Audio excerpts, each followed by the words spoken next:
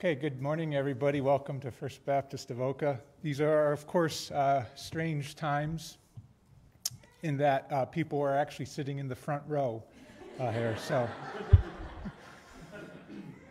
we're going to uh, start with a call to worship and uh, a call to praise the Lord. On the day that uh, Jesus came into the temple, he saw what was going on, he was disturbed, and he reminded the people that this, his place, the house of the Lord, was to be a house of prayer for all people.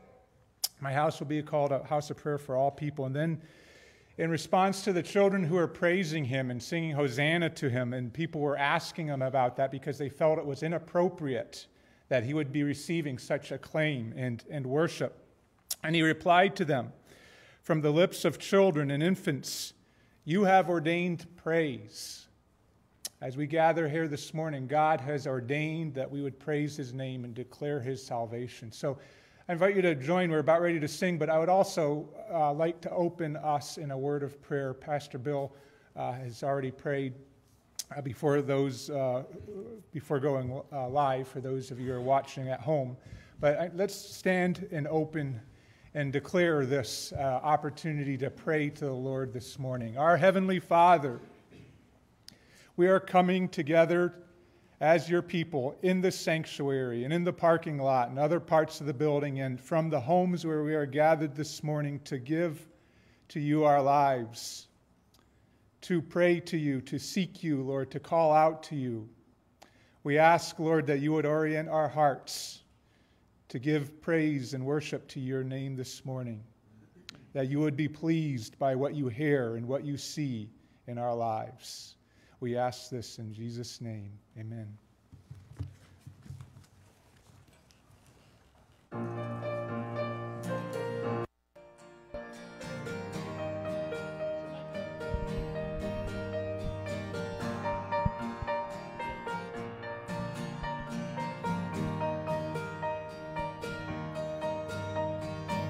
who breaks the power of sin and darkness mighty and so much stronger, the King of glory, the King above all kings,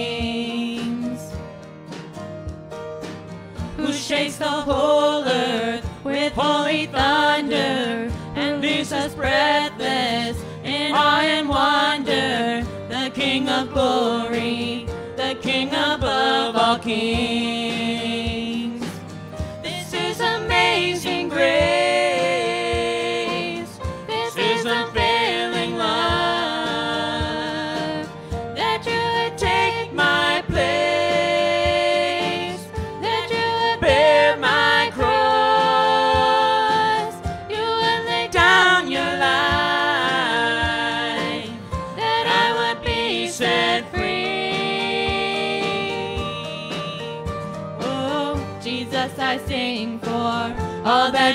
Done for me.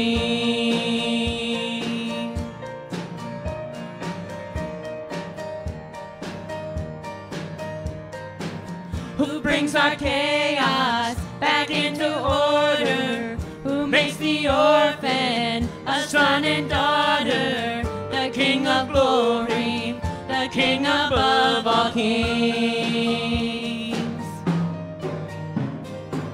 Who rules the nation? Truth and justice shines like the sun in all of its brilliance. The King of glory, the King above all kings.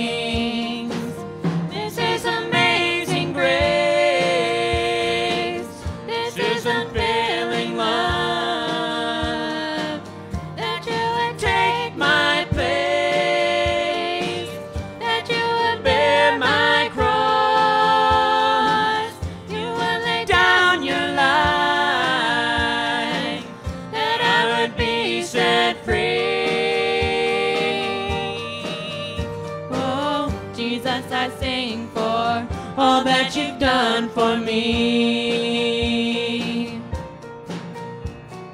Worthy is the Lamb who was slain. Worthy is the King who conquered the grave. Worthy is the Lamb who was slain. Worthy is the King who conquered the grave. Worthy is the Lamb.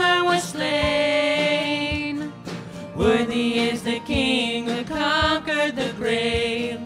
Worthy is the Lamb that was slain.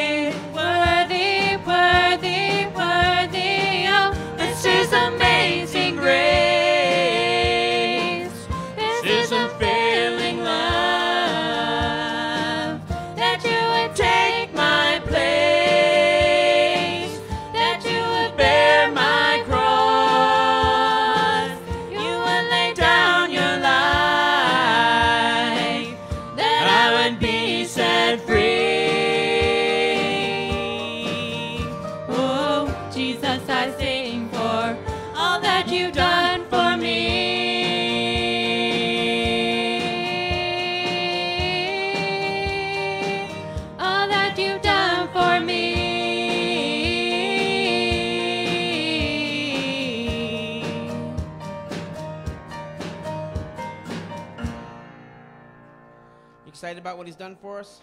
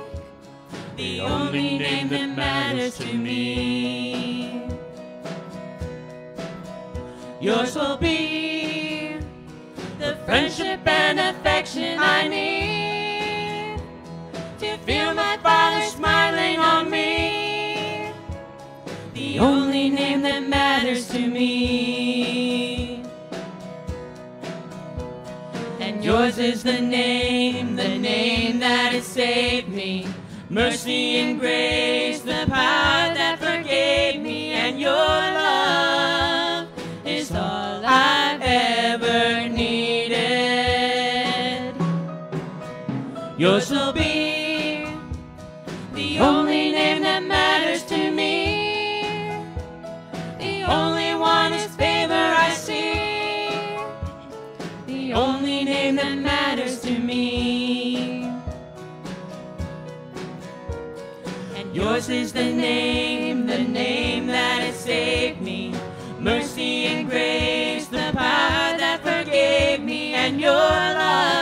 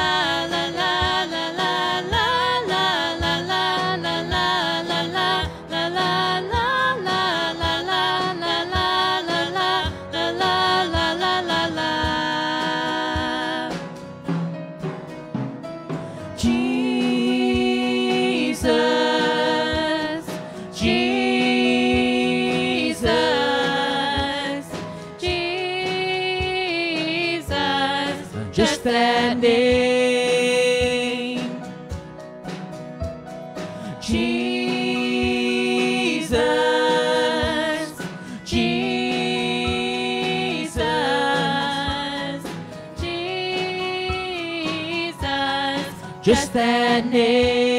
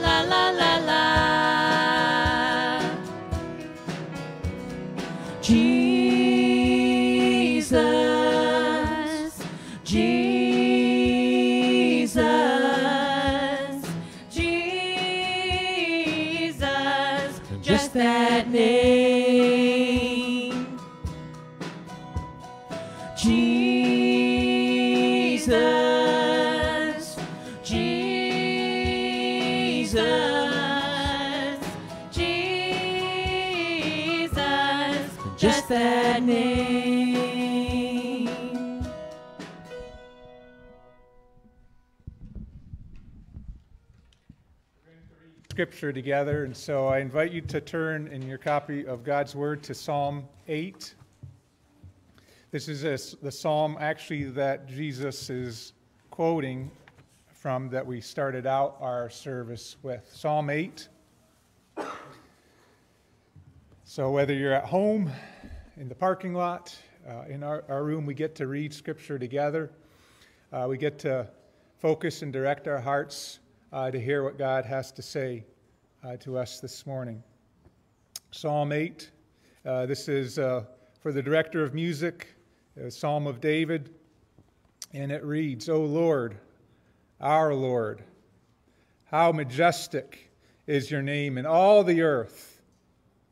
You have set your glory above the heavens.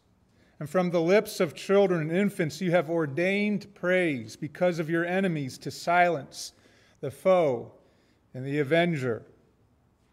When I consider he- the heavens, your heavens, the work of your fingers, the moon and the stars which you have set into place, what is man that you are mindful of him?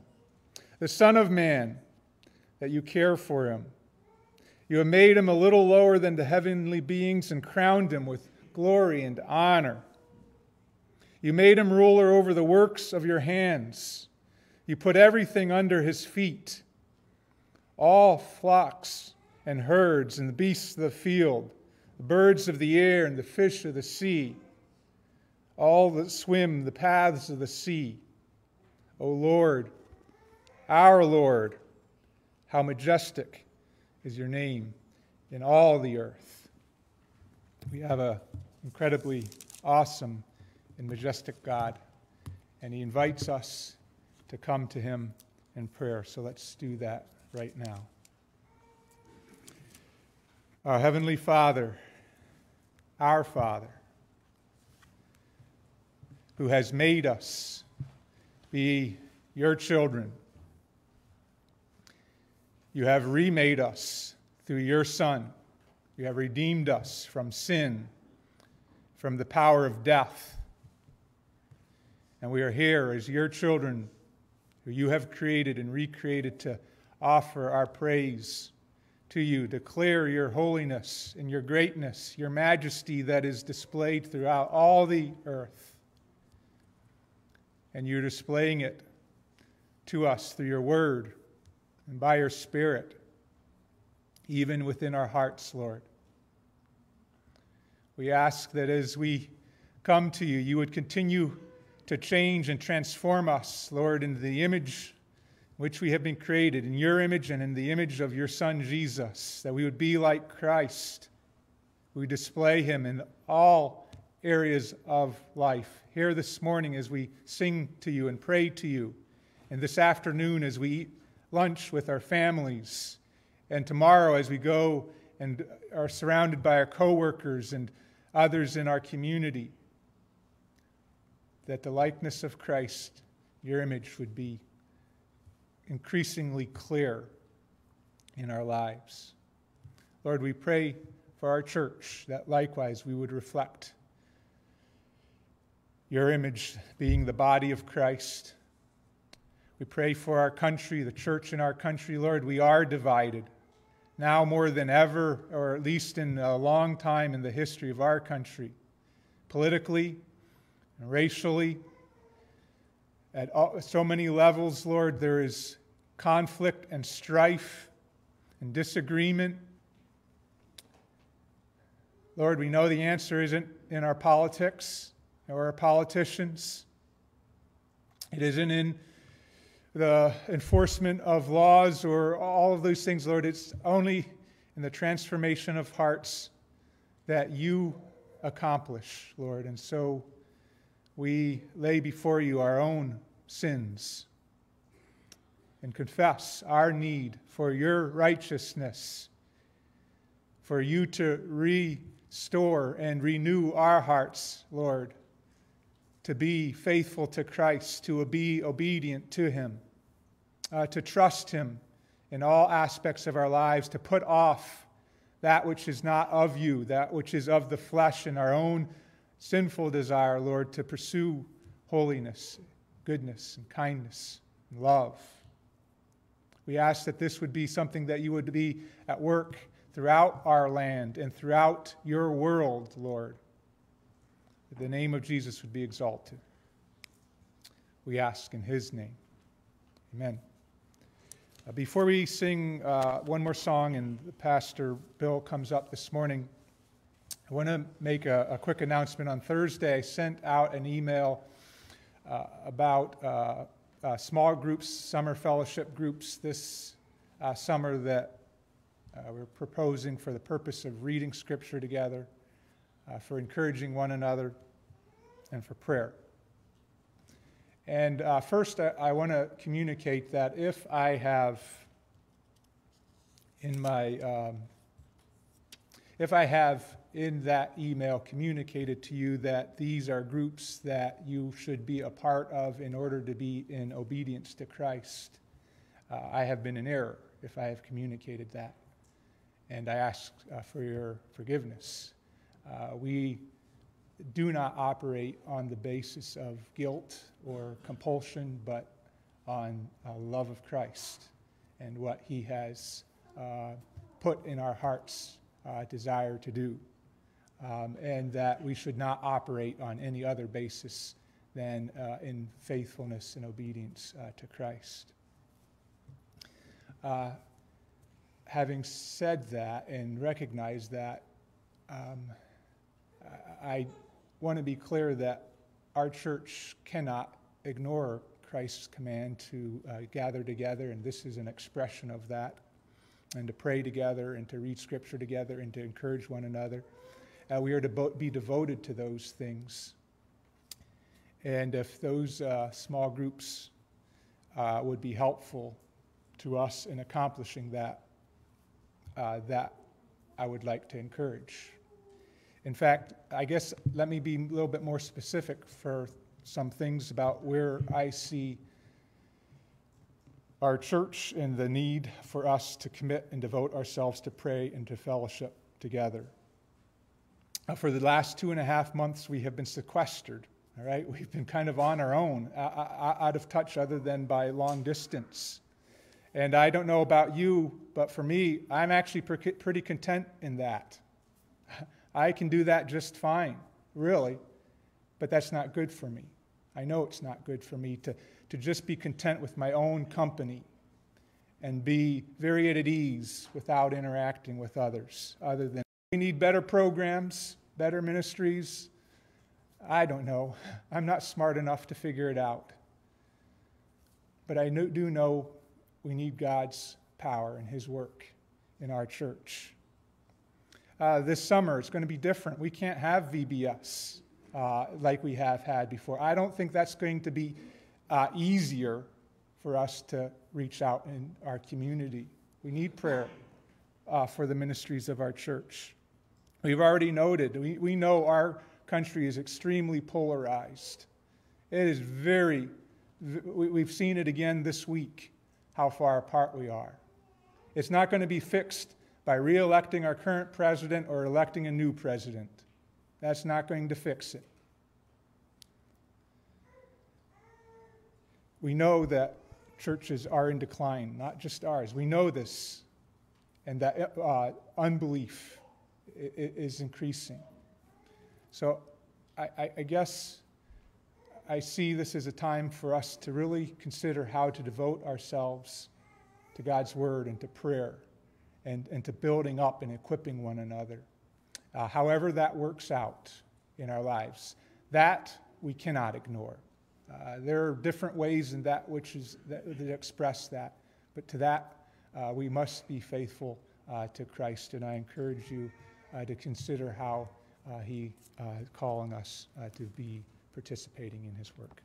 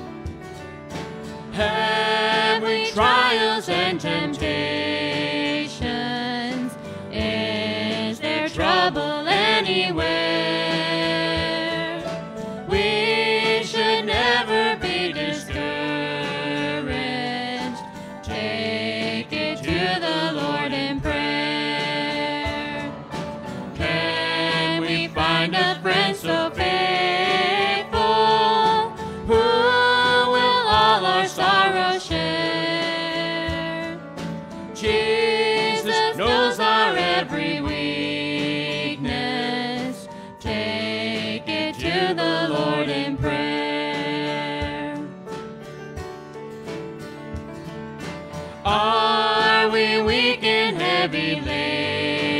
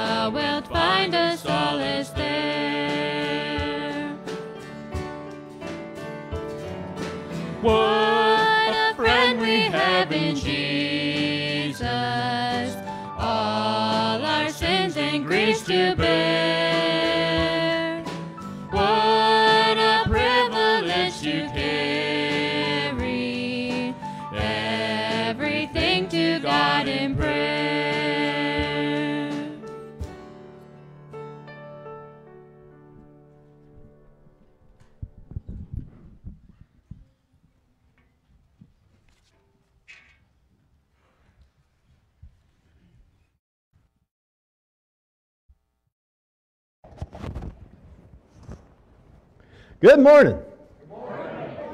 It is good to be in the house of the Lord together. Amen. So, um, death defying acts. Um, there are quite a few. Question Are you afraid to die? There, evidently, there are a lot of people who aren't. Uh, we've got uh, Philippe Petit, who in 74 walked between uh, World Trade Center's Twin Towers. Um, You've got Nik Wallenda, who walked across Niagara Falls, though his great grandfather died uh, in Puerto Rico trying to walk on a high wire. Guy was very, very talented. A stray gust of wind happened to take him by accident, and he perished. Right? Death defying is, is a realistic, a realistic thing. This guy changing flights in mid flight he had a parachute. This guy from 25,000 feet decides he doesn't need a parachute.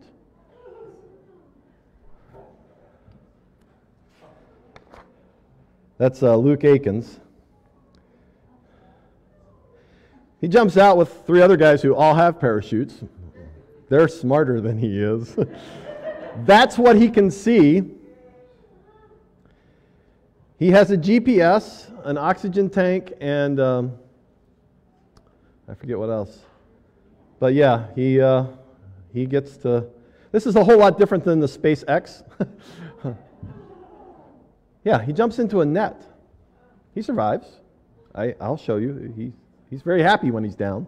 Um, he had jumped 18,000 times with a parachute. Right? See, he's alive. Death defying, but that sometimes ends in death. And, uh, and the question is um, as we think about live or die, live or die, what, is, what does Scripture tell us about living, dying? We're going to look at Philippians chapter 1, the last part this morning. You can turn there, but let's pray first. Father God, we ask that you would give us wisdom and insight, life and death.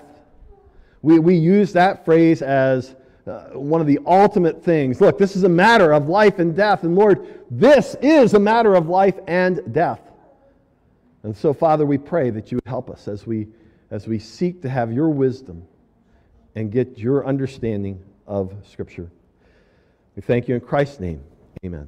So I'm assuming that for most of you, with the coronavirus going on, you've thought about death a little bit more because it's all over the news how many people are infected, how many people died.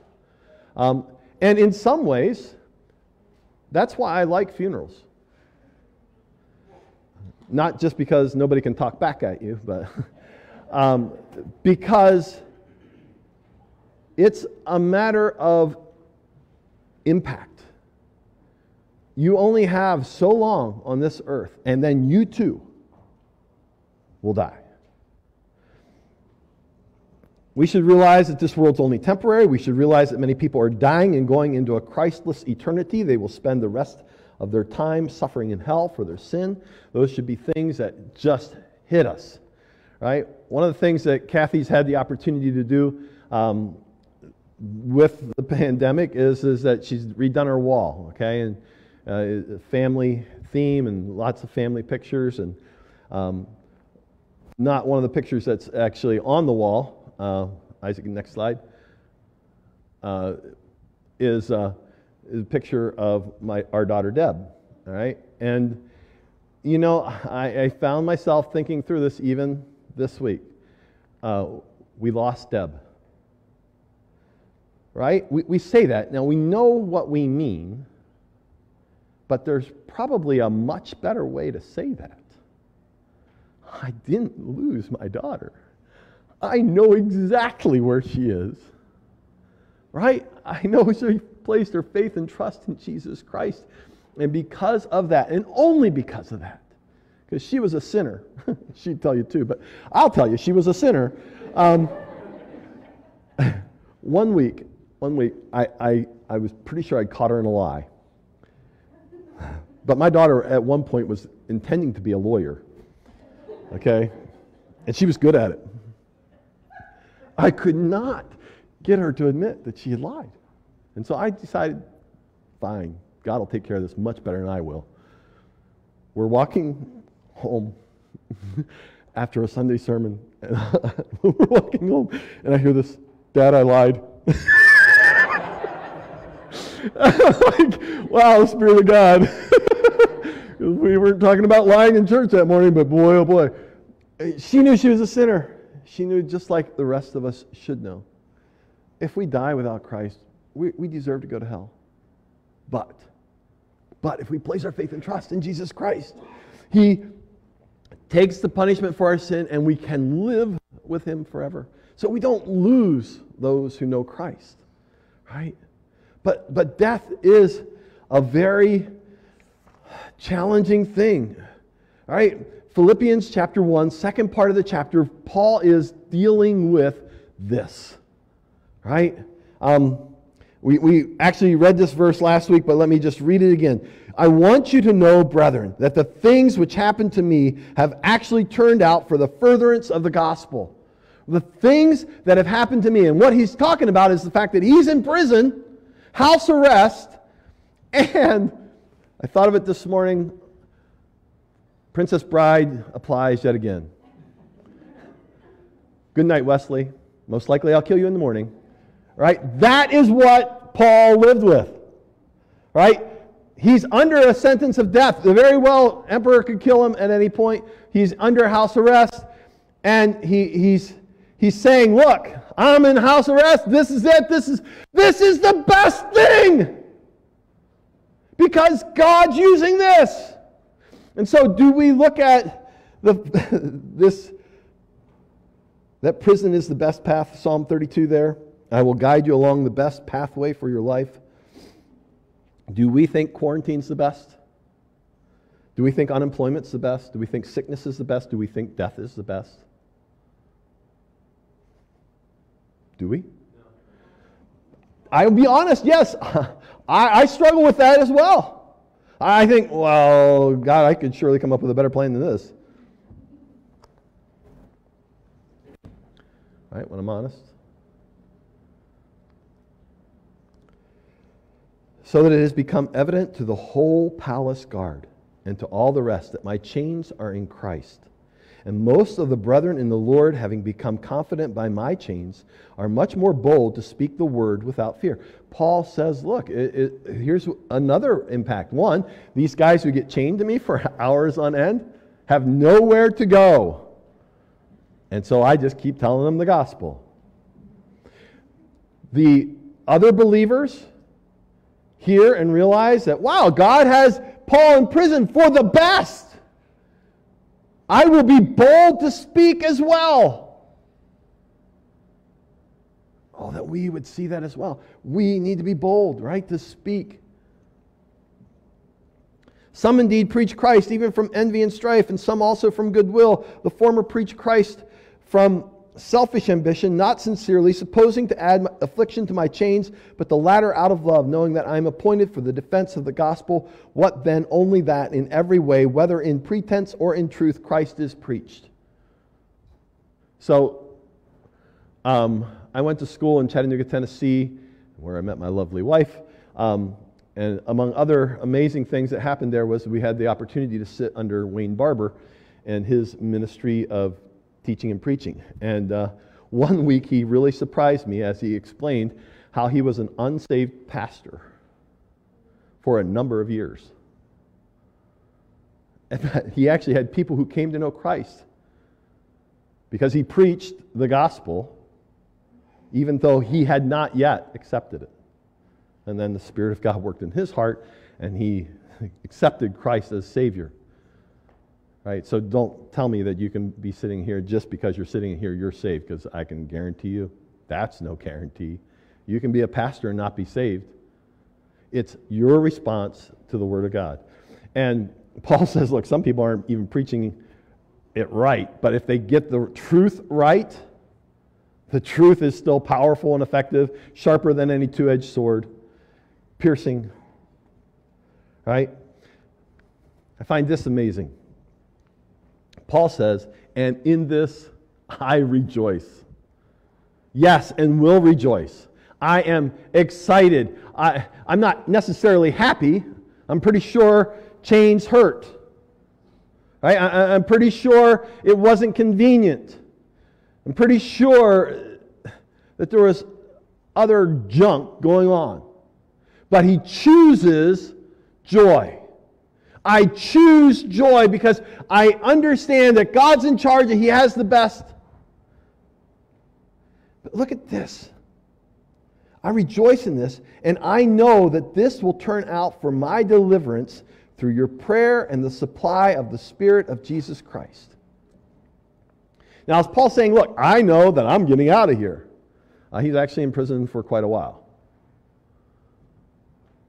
Uh, the word there could mean that, but most likely means I know that my salvation, my ultimate deliverance, is secure. right? And I, I, know that I'll stay faithful and I know that I will do what pleases God because you're praying for me. That's what he says your prayer and the supply of the Holy Spirit working in me to guide and direct me, to convict me of sin, to, to, to, to make me bold in my witness. That's going to turn out to, for my salvation, for my uh, appearing before God. Uh, Friday night, we did secret church. It was delayed, but we had Secret Church here. And one of the things that impacted me yet again was the need to pray more, better for each other, for our church, for our community. This passage reminds us that our prayers matter, that we need to pray more for our missionaries. We need to pray more for those who are preparing, like Eli and Sadie. We need to pray more for unreached people groups because there are people around the world, nations, tribes around the world who have not yet heard. And frankly, we need to pray that those who are here in our community, who have the opportunity to hear, who, if we turn up the, the sound system louder, are just simply going to tune it out more, but they, they don't know. Not because they couldn't, but because they choose. Right? We need to pray because our prayers are effective. God, God tells us that. Paul reminds us here.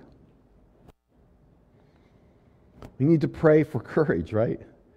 Verse 20 according to my earnest expectation and hope, that in nothing I shall be ashamed. But with all boldness, as always, so now also Christ will be magnified in my body, whether by life or by death. In nothing I'll be ashamed, but with all boldness. Uh, the NIV translates that sufficient courage. Right? Um, maybe, maybe it's just me. Right? But I know I've come into opportunities where God has placed me, and that all I have to do is say the next word, and it will open up a, a witnessing opportunity. And I will admit that I have shrunk back. Because I know, and yet I'm afraid. I, I don't have sufficient courage. I don't have the boldness that I should have. And what is the worst that could happen to me? So I, will be honest. I, as we moved towards this whole gathering together, right, I, I, I seriously considered so would I? Would I gather together if I knew that the police were going to knock on the door or pound on the door and come in and arrest everybody? And you know who goes to prison first in those cases? The pastor. The pastor gets to go to prison first. So I'm, I'm seriously considering how many prison epistles could I write? um, would I, what would I do? Know, do I have the courage? Right? Pray for courage. Pray for sufficient boldness to, to answer, to stand, to do, to speak the word of God. Why? Because we have people who are lost and dying and going to hell. And God desires for us to share with them the only message that will, will change their minds. Paul then writes this verse that I'm sure everybody's familiar with. For to me to live is Christ, and to die is gain. Can we say it together? For to me to live is Christ, and to die is gain. Okay, but that see that's very different than saying, "Oh, we lost death." We gain by death. Right? Do you stop and consider that? And I realize, you know, I realize that most of you at least have passingly thought through. Some of you are looking forward to dying. When Barb was Kraft was still um, very coherent, she she seemed to know who I was every time I went in. But when she was very coherent, she she would tell me often. Florence told me a number of times, I'm ready to go. I'm ready to go. I don't know why God's waiting. I'm ready to go. I want to I want to go to the other side. I, I want to be with, I want to leave this and go. Right? And again, back to Chattanooga, I remember specifically praying, Oh God, please don't come before I get married. Because I really love this woman and I really like to experience married life before we're out of here. Right? The more I look back on that, the more stupid I realize that is. Right? Like, marriage is better than heaven? Well, mine is. I don't know about yours, but um, I thought I better. Yeah, I thought I better. Better. I thought I was going the wrong direction here. Lunch is just not going to be as fun as I think. mm, right. Marriage is good, right? But truthfully,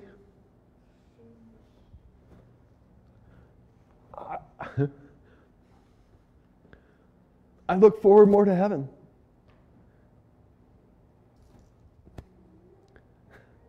Because I know Deb's there. And I want you to understand, I'm about to tell you that that is wrong. Look at what heaven is spoken about. Right? 1 Corinthians 2 9. It's written, What no eye has seen, nor ear heard, nor the heart of man imagined, what God has prepared for those who love him. The Bible tells us that we can't even imagine how great heaven is. Second Peter talks about, according to his promise, we're waiting for new heavens and a new earth in which righteousness dwells. I'm looking forward to that, right? That, that there is no injustice. Everything happens like it should. 1 Peter chapter 1 to an inheritance that is imperishable, undefiled, and unfading. My weed whacker broke again this weekend. If you know of an unfading, unperishable weed whacker, I'd really love to know about, okay? There's so much stuff that breaks. And what we have to look forward in heaven, things that do not. Capped in heaven for you. Rejoice and be glad, Matthew 5. For your reward is great in heaven, so they for so they persecuted the prophets who were before you. Right? We have so much to look forward to. God is going to reward us. It's going to be great. It's going to be fantastic. It's described. Um, we often look at Revelation 21. He will wipe away every tear from their eyes, and death shall be no more. There shall be no mourning, nor crying, nor pain anymore, for the former things have passed away. And that is fantastic. We look forward to all those things, but I'm here to tell you that if that's what you're looking forward to the most, if that's what you think to die is gain, that the most is I get to see my loved ones, that I get my reward, that things don't break, that then you've missed it. You have missed it because Scripture spends more time talking about the fact that when we get to heaven, we are in God's presence. God's presence. Right? For eternity. Psalm 16:11 You make known to me the path of life in your presence there is fullness of joy at your right hand are pleasures forevermore John 14 I am the way the truth and the life He'll let not your hearts be troubled. Believe in God, believe also in me. In my Father's house are many mansions. If it were not so, I would have told you. But I go and prepare a place for you. I go and prepare a place for you so that I can come again. I'll take you to myself, that where I am, there you may be also. Revelation 21, before it talks about the no more tears, says this I saw the first heaven and the first earth had passed away, and the sea was no more. I saw the holy city, New Jerusalem, coming down out of heaven from God, prepared as a bride adorned for her husband. And I heard a loud voice from the throne saying, Behold, the dwelling place of God is with man. He will dwell with them. They will be his people, and God himself will be with them as their God. If your heart is not most looking forward to death because you enter into the presence of God, into the presence of Christ, into the very presence of the Holy Spirit, you need to check your heart. I need to check my heart, right? Because the most important thing is seeing the face of my Savior. Now, I'm sure that you can probably understand. Paul has thought through this, and he's in the middle of this, and he's saying, Look, I've got this choice to make. All right? And so I'd like to help us kind of think through choice. I need a volunteer.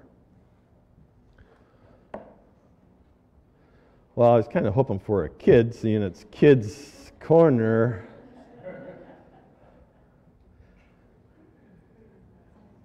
I, I, go ahead, Matt, Micah. All right. I'll put mine on too, since we will not be socially distant. Although if you stay on that side and I stay over here, maybe it's just harder to get the camera on that. All right, so Micah, I have to breathe differently. All right, that's better. Okay, uh, Micah, I have three options for you. I'm, I'm going to ask you to make a choice. Okay, I have this envelope. All right. I have this box, joy, very appropriate for Philippians. I did not spend all night making this. Mrs. McFeeder has found it for me. Wonderful woman that she is. I have this bigger box, Micah. Which one, right now, just you know, right off the top of your head, which one? Which one are you thinking? The joy. The joy. Choosing joy is a great thing.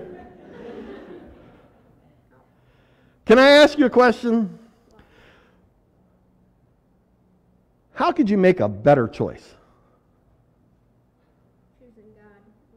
Oh, well, yeah, okay. I'll give you that one. When in doubt, choose Jesus. That's, that's always a good Sunday school answer. Um, that's actually a great Sunday school answer. Um, I've done it myself several times. Um, I think there's a better way, though, for you to know which one you should choose. How, how, how could you know the best outcome?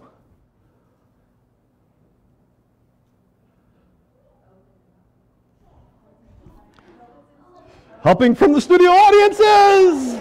Phone a friend. That's, that's a good question. That's a good way. that's okay. Um, they say you could open them up. I'm going to tell you you can't do that. There's another way. Shake it. You got to be careful with this one. It's really flippy and uh, it's flippy joy. Okay, hold it from the side. Yeah. Shaking envelopes doesn't usually help. All right, so now you got a better choice, right? What are you going to go with? Oh, now you're going to go with the big one. How come? Oh, you don't get to open it yet. I'm not done with the point. made the most noise. Made the most noise. That's a, that's a good, good option. As a matter of fact, I, I will tell you that there is money in the envelope. No, because he couldn't shake it. Good thought, though. But that does give you a clue here. Ah, I know what's in every box, every envelope. So, this is the best one. You want to take it and open it? Show them what's inside.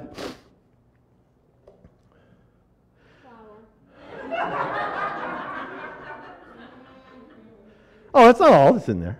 Oh, oh yeah. Got some pens. That's right. So, Micah, here's what you gave up. Behind door number one was candy. So I'm asking, which, which do you think was better? Candy. The candy was better? Yeah, it's not a lot of candy, but there is candy. Even over the money? Even over the money? There's only a dollar in there. I don't know. Mike, I'm telling you that this is the best box. This was the best choice. Now, you can use these to go encourage people. Okay. I will do that. And, and, and it looks like. Okay, how many of you think you got ripped off? How many of you would have made a difference? I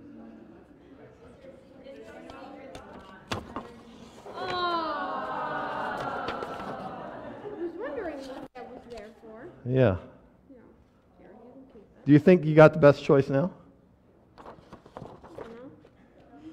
Yeah, the candy. I think you can buy enough candy to cover. Thank you, Micah. You can you can you can keep that, and you can sit down. Thank you. So here's my point. Here's my point, which we've made a couple of times. Right? God knows best. Why? Because He's packed the boxes.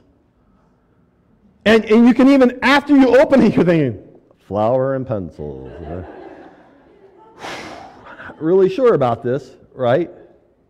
Because you don't always see immediately what all that God has packaged for you, right? Colossians tells us this we continually ask God to fill you with the knowledge of His will through all the wisdom and understanding that the Spirit gives. Second slide there, I think. I can't see it. Walk, turn the other way. Uh, nope, back to the, there you go. Walk in a manner worthy of the Lord, fully pleasing to Him, bearing fruit in every good work and increasing in the knowledge of God. Right? So we need to pray, not only for one another, but we need to pray so that we would understand what God's will is, and we would trust Him. That even with what may not immediately appear to be the very best, that it is the very best. So Paul is still in this spot. Verse 22 If I live on in the flesh, this will mean fruit from my labor. Yet what I shall choose, I cannot tell. I am hard pressed between the two, having a desire to depart. Right? I want to get to heaven. It sure beats prison. And be with Christ, which is far better. Nevertheless, to remain in the flesh is more needful for you. I realize that I could go, but I realize that God may have purpose for me here. And being confident of this, I know that I shall remain and continue with you all for your progress and joy of faith, that your rejoicing for me may be more abundant in Jesus Christ by my coming to you again. That God would answer the request, that you would get, that I would be released, and I'd be able to be with you, and I'd be able to encourage you that God answers prayer and that He's powerful, and that sometimes the best possible place to be is prison. Why? Because truthfully, that's where Paul makes his greatest impact on us we have the prison epistles, which wouldn't have been written. Paul wasn't in prison. The, the point is this Scripture talks about the fact that I've been crucified with Christ. It is no longer I who live, but Christ who lives within me. And the life which I now live in the flesh, I live by faith in the Son of God, who loved me and gave himself for me. We need to die to live. We need to die to our own self. And I, uh, I hate it when God keeps working these things over in my life. Somebody else pick a sermon and preach for a week, okay? Because for the last two weeks, I, I really struggle with this that, that I need to, to sacrifice me, my wants and my likes and my desires for the good of the church, for the good of others to serve, right? So, verse 27 Only let your conduct be worthy of the gospel of Christ, so that whether I come and see you or am absent, I may hear of your affairs, that you stand fast in one spirit, with one mind, striving together for the faith of the gospel, and not in any way terrified by your adversaries, which is to them a proof of perdition, but to you of salvation, and that from God. For to you it has been granted on behalf of Christ not only to believe in him, but also to suffer for his sake, having the same conflict which you saw in me and now hear is in me.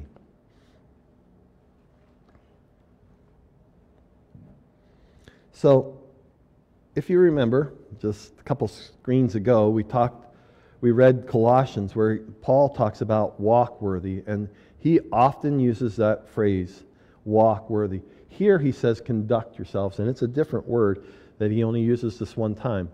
And uh, it's poly something, um, from which we get politics, because the word itself has to do with um, living as a citizen, be one short way to do it. Live as a good citizen, which particularly caught my attention because of where we were in secret church. Um, Paul says, I want you to live as a good citizen. Now, realize that he's writing to the Philippians. The Philippian area, the Philippi is a, uh, a free part, but they're very devoted to emperor.